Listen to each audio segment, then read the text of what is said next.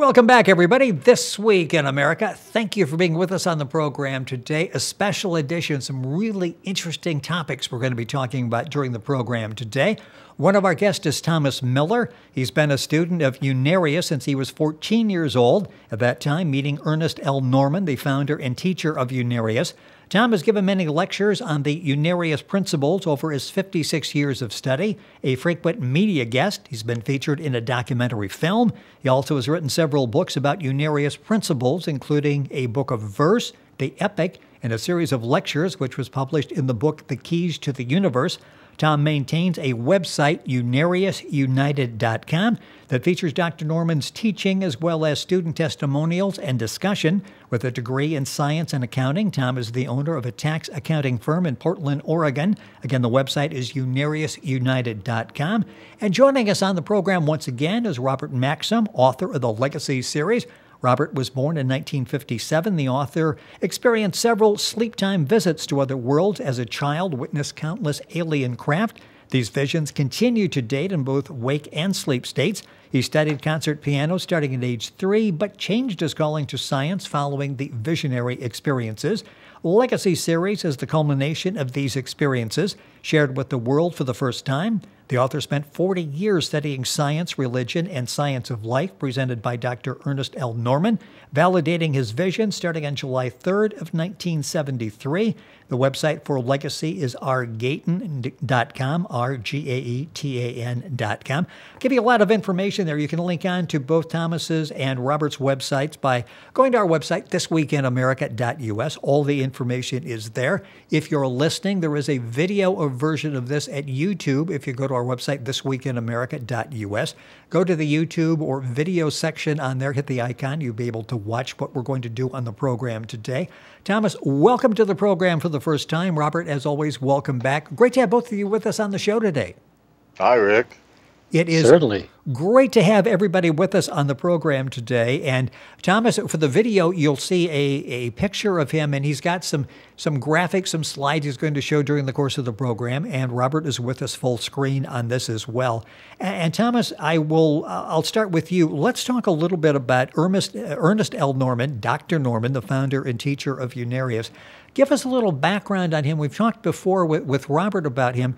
Uh, give us some of background, and then we'll talk about the experience you had with him and actually meeting him. Well, this was very unique, Rick. Uh, I actually met Dr. Norman and interacted with him for the last 11 years of his life. Uh, I went to his house many times. But what I really wanted to talk to uh, the folks about is uh, my first meeting with him when I was 14 years old. Give you a little bit of background. When I was 14, my mother bought a book called Voice of Venus. I got through about a third of that book. And then all of a sudden, I bellowed out, out loud, This is what I've been looking for all my life. And here I'm 14 years old. you know, and uh, it just hit me that this was the the thing I've been looking for as a way of life, a, a form of living and expressing myself. A little bit of prefacing there was that uh, when I was four, five, six years old, I was in a child abuse uh, situation, and when I would become physically uh, threatened. I would close my eyes and I would see this beautiful sun-like beautiful ball of energy in front of my mind. And I was mentally told to walk into that ball of light and I would be protected. And I would do that and I would felt at peace and, and uh, everything was okay. No matter what they did to my body, my mind was in that beautiful, radiant ball of sun like energy. Well, this happened quite often when I was four, five, or six years old. Uh, now, saying that, when I got that book, I wrote Dr. Norman. They were living in Santa Barbara and we were in LA. And I told them uh, that I just really love the science that, that, I'm getting from the voice of Venus. However, uh, I had uh, been taken out of school when I was in the sixth grade and or seventh seventh grade, sorry, and uh, I didn't know uh, how to read that much. And Dr. Norman uses very big words. So I wrote him and I said, Yeah, I love this, but do you have a children's book, you know? That, and, yes. uh, and they wrote back and said, Don't worry about it. You will learn in your sleep state how to read and uh, understand these things. Let me tell you, Rick, in two weeks, I was reading those books, all the big words, and understanding them. Wow. And it, I had no education within those two weeks. And so it was a miraculous thing. And so, anyway, they invited us to, uh, my mother and I, to their home in Santa Barbara. We were living in Glendale. And so, we, of course, we went.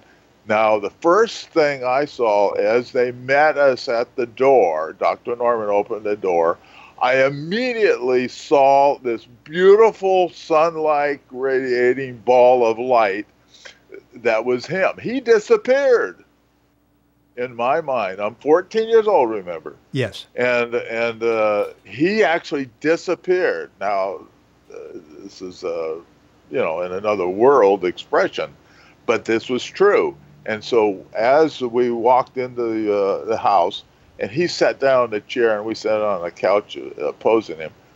Uh, he uh, started just talking to us. He didn't go into any trance. He didn't do any kind of manipulations, mantras, or meditation things, or you know, uh, calling on the angels or whatever. He just started talking to us. And what he did, he started telling me about my personal life, things that happened in my life that nobody knew except me. I hadn't even told these things to my mother. So she's hearing it for the first time. She's sitting on the couch next to me listening to this.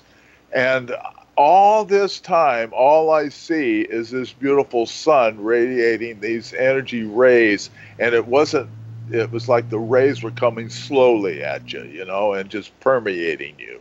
And this transcendent feeling was there. Uh, it was just a beautiful, uh, loving energy that was coming to us. And all during the whole meeting, this happened. And yet, I felt like, oh yeah, this is normal. You know, I wasn't any, I wasn't surprised. I wasn't uh, uh, feeling like this was weird, because I recognized this ball of light that I saw when I was four, five, and six during the abuse years. Okay. So that's just what I recognize. that I am actually meeting that ball of light that helped me through those years. So I recognized it, and it was normal to me. Okay, so then he, what did he do? He started telling me about things in my personal life, in this life, and he would say uh, things like, "Well, you had a friend when you were nine years old, and he named him." He named his name, Greg. He described him perfectly physically. He had sandy hair, was a little chubby, and it was just a little taller than I. And this was just, I'm telling you, nobody knew, nobody knew to tell him these things. And so he said, you know, one time you guys got a box of cigars and you went down in the basement and you went, you smoked the cigars and you went, you know, turned blue, green, and orange, you know, and, and, and nobody knew about that, Rick. Nobody knew about it at all, ever. I never told my mother or anybody ever. And then he went on and he says, you, uh, and during the winter time, you were riding your bike down this steep hill and uh, the bike skidded and ran into a parked car, and you actually flipped the bike and yourself over the tire part of the car, landed on your keister. He described the car. He described the color and the shape of the car and the uh, the bicycle. He described the bicycle. It was just a small bike because I was only nine but he says, You never told anybody. And I said, No, I didn't tell anybody because I was so embarrassed and I really wasn't hurt. So I didn't tell anybody. But then he says, You, uh, when you were five or six years old, uh, you saw everybody, you know, I had uh, three uh, brothers and sisters, and they were all going to school, and I wanted to go to school. So what I did, I saw that all their teeth had come out, so they were going to school. So I took a pair of pliers oh, and pulled no. my teeth out. oh, jeez. and then I, I told everybody, "Wow, I got smashed in the mouth," and that's how the teeth got uh, knocked out. And he and I said, "Well, now can I go to school?" And uh, and nobody knew about that except Dr. Norman. You know, he he said those things. And then the uh, uh, the other thing that uh, was really important was that he said, Tom, now I'm telling you these things about your personal life that nobody knows so that you will believe me when I start telling you about your past lives. So he started telling me a bunch of past lives that I lived. One of them was uh, he said you were a scientist in the 16th century and you tried to invent the perpetual motion machine. But he says, like everybody else's in that time, yours failed too. so uh, then he said, uh, there was a life about, well, this was 1960, so he said about 100 years ago, so it should have been about 1860, that uh, uh, you lived in the French Swiss Alps. And he said, uh, he started asking me some questions. He said, uh, you know, what do you think about uh, golden haired women with pigtails. And I said, I really am very much attracted to that. And he said, What do you think about the name Frontenac? And I said, Hey, I got a watch. It's called Frontenac, and I love this watch. Mm. And he says, "Well, what do you think? What do you think about dogs, especially huskies?" And I said, "I love huskies. It's my favorite dog. And I, what I love to do is, uh, you know, bury my face in their fur and just it was like a, a, a blanket type of a thing. And he says well i'll tell you you were in the winter you were going to your wedding uh, in frontenac france france. And uh, you were going across a, a very treacherous uh, mountain trail and the sled slid off of the side of the mountain and you fell down and at the midpoint there you punctured your your back right back uh, lungs on your on your back on a twig on a heavy twig of a tree. And you died there. But the main thing is that the huskies that fell down with you actually huddled around you while, until you died. And this is why you love to rub your face in their fur is because they were keeping you warm until you died now, Thomas Miller is our guest on the program. I don't mean to interrupt, but I will for just a second to to give you the information. What Thomas is talking about, you'll find great information at unariusunited.com. Go to our website, thisweekinamerica.us. You can link on. Thomas Miller, our guest on the program, if you just joined us, Robert Maxxim, author of the Legacy series, is with us as well. Tom has got some slides he's going to show us. And Tom, whenever you want to show those, just let us know, and then we will see those on the screen. And if you're listening to the program, uh, go to our website, the YouTube channel, which you can get get to by going to the website, and you'll see all the pictures. And we've got a picture up now of uh, uh, of Dr. Norman. This really was a life altering afternoon for you, wasn't it? The the time you spent the first time in meeting with Dr. Norman. Well, it was very transcending life changing indeed. Uh, it totally changed my life. It actually saved my life, uh, to tell you the truth, because I did not have a functional family, as I kind of iterated, yes. and uh, and uh, so I uh, actually was kind of floundering around about you know what direction of life I should take. This solidified that. So anyway. Excuse me, continuing the story, uh, he said that you were going to your uh, to your wedding, and what do you think about the word uh, the name Inga? And I said, I love Inga, you know the word. And he said, well, that was the name of your potential wife, and she was she had golden pigtails, and she was waiting at the church, waiting for you to get there, and you never got there, and uh, so that was one experience. And then he says, Have you ever had a pain in your back there? And I said, Yes, all my life. Periodically, I would have a like a knife being stabbed in the right part of my lower back here, and I would lose my breath. I couldn't breathe, and it would, you know, be for two or three minutes before uh, it would go away. And he said, "Well, that's where the twig went in." And get this, he says, "Now, Tom." you will never have that pain again. And I'm telling you, all these years, I have never had that pain again. It left you that day. It, I was healed of that just by uh, making the realization of this past life, which is one of the principles that he taught, was that healing can take place by recognition of these various past life experiences. Anyway, if you're looking at his picture right now, yes. he has a high forehead. And when he spoke and was channeling, we call it channeling, that forehead actually generated a big, large welt. And it, it, it actually like became very tender and everything.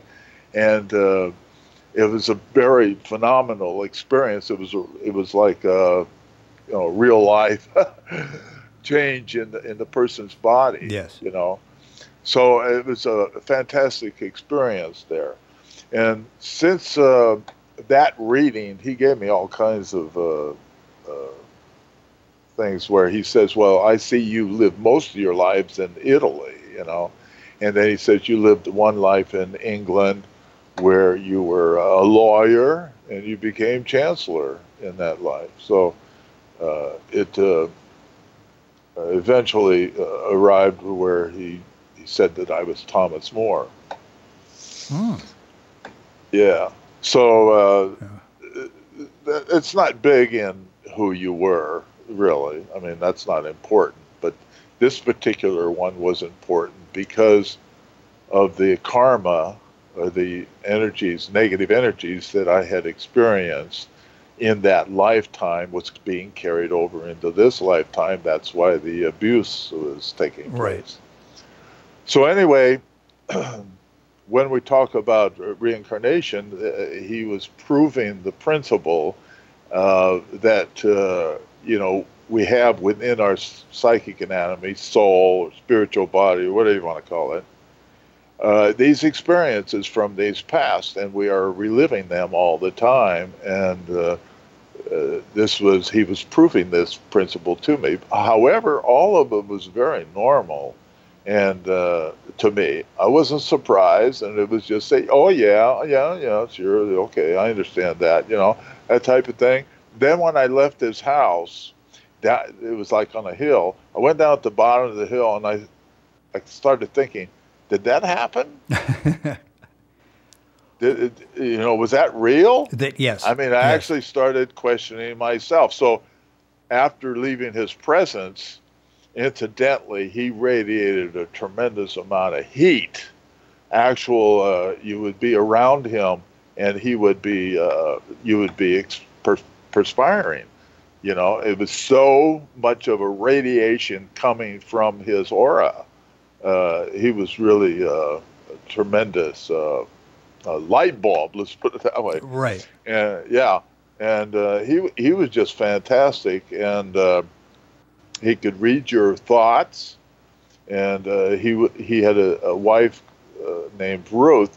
She would go down to the store down the hill to pick up supplies, and she would come back. And I was there. Incidentally, I was uh, invited back many times to their house and I was there, and she would come back into the house, and he would start to tell her you know, who she met, what she did, what she said.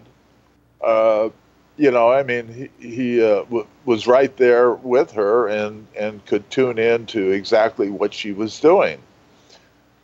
It was phenomenal. I mean, it was a, a, tremendous experience. Boy, and how intense this had to be. You are a teenager and going through this experience. You're you're listening to This Week in America. Our guest in the program, uh, Thomas Miller, and uh, Robert Maxxim with us as well from the Legacy series. Uh, about five minutes left in the program. It's going by way too quickly. I'm sure this will be Whoa. part one. Yeah, about part one of this discussion.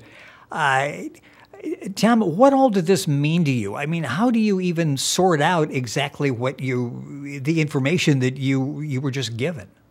Well, in the teachings, it says you must be preconditioned to uh, uh, accept anything in life. What we mean by preconditioned is that you live uh, lives in between Earth lives, and you go to school, and you set up cycles, and you set up things you're going to do uh, in the Earth world in your next Earth life.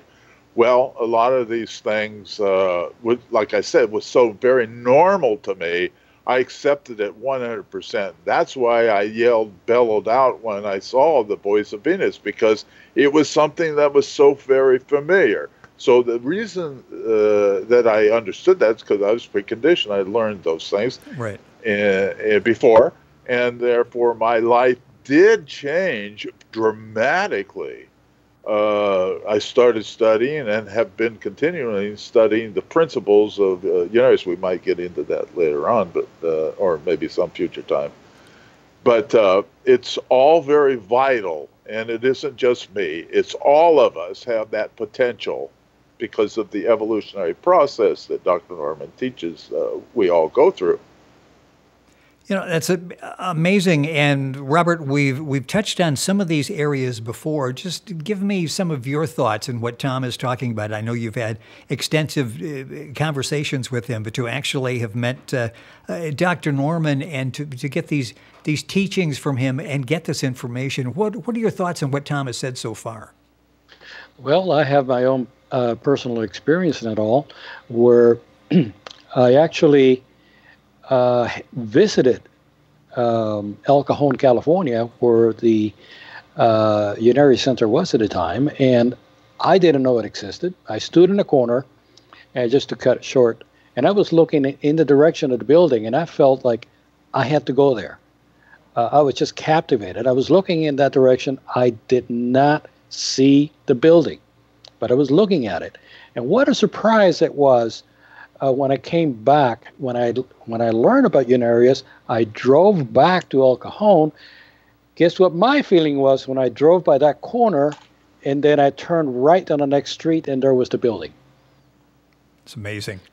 Yeah, that yeah. was that was the first experience, and of course, the first person I met when I walked through the door was my beloved brother Thomas Miller, and I, as as soon as I saw him, I felt like I knew him forever.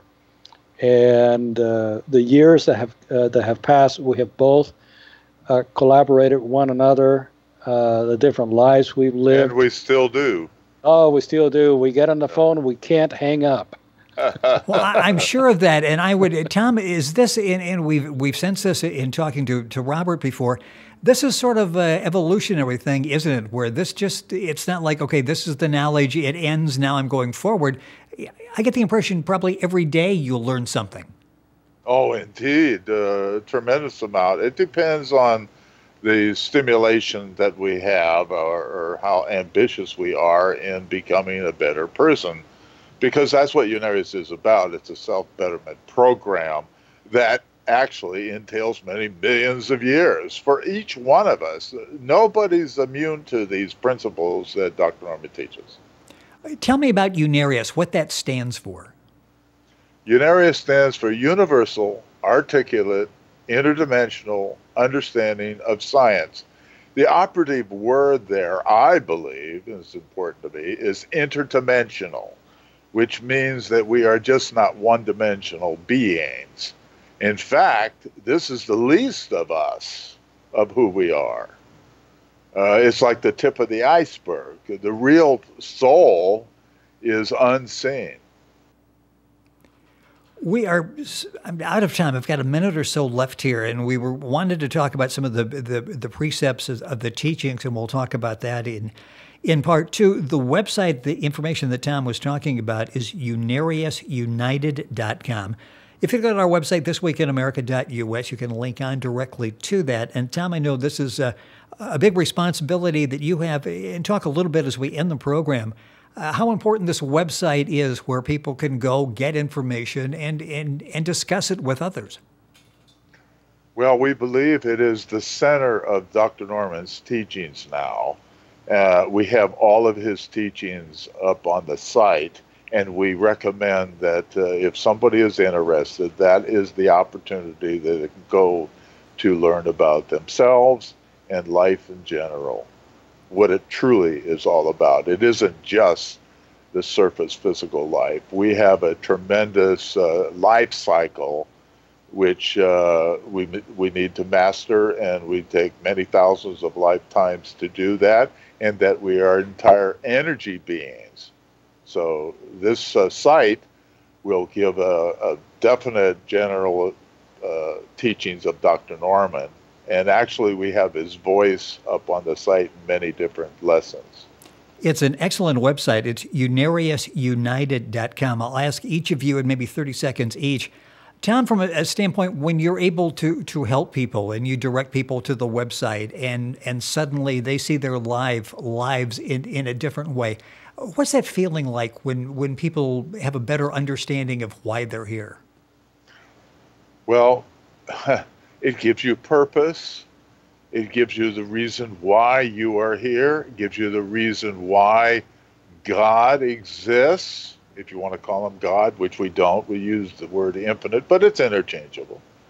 And uh, it actually gives a person a security, a knowledge that they have a future and that they have a pur- reason that, that, and that they can learn anything they wish be a musician, a mathematician, a scientist, or a piano player, or a singer, or anything you want. Right. This is our purpose. And Robert, from your standpoint, when you talk with someone, and all the times you've been on the program, when people follow up and go to your website and entertained by Legacy, but learn from it as well, or go to Unarius United, what's it like when you're sharing what's been life altering for you with others? Well, I always have the sense that life is a mission of overcoming uh, I have come here with uh, preconditioned knowledge from the higher worlds. Uh, that knowledge is now exercising itself on this dimension and going through different lessons, different experiences that teach me all the time uh, how to be on the pathway to infinity. Now, um, I've had to come to terms with a lot of uh, issues that I had in life that I I thought they were perfectly normal. Uh, but as the years have come by and the studies have uh, transpired, of course, those have been what I want to, uh, what I could say is a game changer, and can be a game changer to anyone else that puts forward the effort to actually study, be honest with themselves, and understand what infinity and energy is is all about. Um, and any anything that I can share along those ends uh, it's another reason why I'm here. And the Unarius United website is just that. It is a center for sharing uh, the teachings of Dr. Norman, but also our own lessons learned, our own overcomings. And the one thing about uh, Robert is that his book Leg- Legacies uh, is just his personal journey. We all have our own personal journeys. Mm-hmm. He is finding out about his and we are all finding out about our own through our own uh, learning and experiences.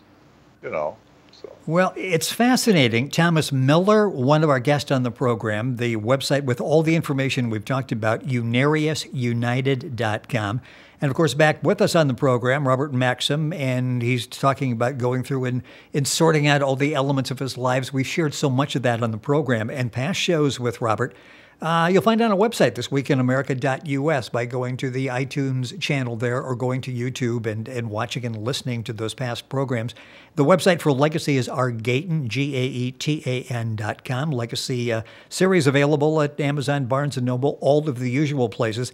I'm sure this is part one because so much more that we would like to talk about, and I thank Robert for bringing Thomas on the program this time, Thomas Miller and Robert Maxxim. Gentlemen, went by way, way too quickly. Thank you so much for joining us on the program. Thank you for being with us. Thank you, Rick, for having us. You're welcome. Absolutely. All the information available at the website thisweekinamerica.us. Stay tuned. We're right back after these messages.